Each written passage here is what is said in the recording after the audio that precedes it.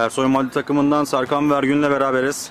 Önce kaptan Serkan'la başlayalım. İlk yarı 0-0 berabereydi. İkinci yarıda arda arda goller gelmeye başladı. Son dakikada Ruhi'nin golüyle galibiyeti elde ettiniz. Neler söylemek istersin?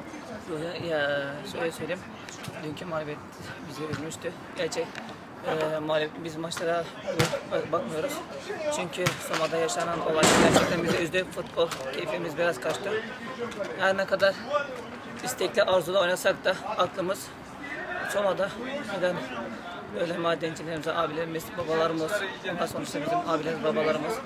Allah'tan rahmet diliyorum. Yakınlarına sabır, sabır versin Allah.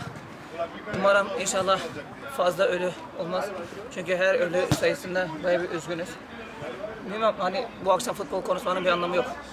Bu akşam sadece eee Maden Hoca'nda kazada ölen abilerimiz, babalarımız dediğim gibi ölenlerin anısına hani maç yapmış olabiliriz. Öyle sayayım. Yani biz buraya puan amacı değil.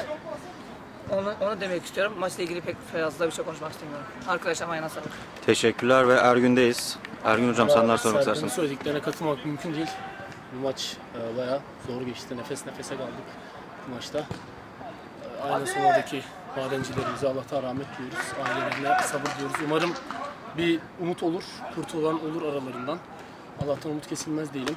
Sizlere teşekkür ederiz geldiğiniz için. E, rakibi tebrik ederim iyi maçtı. Teşekkürler, başarılar.